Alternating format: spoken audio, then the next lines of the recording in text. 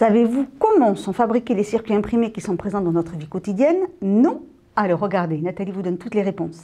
Nathalie a 33 ans. Elle aime les sudoku, les films historiques et son métier. Nathalie est monteur-câbleur en électronique. Je fabrique des circuits imprimés.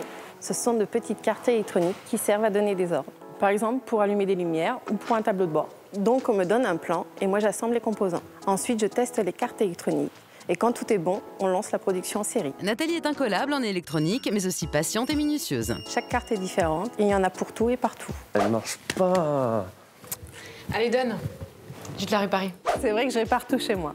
Aujourd'hui, on répare les cartes électroniques. D'ailleurs, ici, c'est une société éco-responsable. Nathalie a été formée par son entreprise. On recherche 19 000 ouvriers qualifiés de l'électricité et de l'électronique par an pour environ 1450 euros en début de carrière. Et des offres sont disponibles sur beautravail.org.